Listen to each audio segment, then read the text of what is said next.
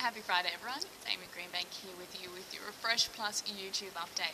Now this is the latest weather around the nation. We have the cloud band which is tracking across the central parts. However, it is very dry out there so we're not expecting any rainfall underneath this cloud unfortunately and the temperatures are continuing to soar. In fact we're looking at near record October heatwave conditions over the next couple of days. Of course it's the Alice Springs districts that will be affected. We've got temperatures maxing out at above 40 degrees in some locations Western Queensland is also scorching today.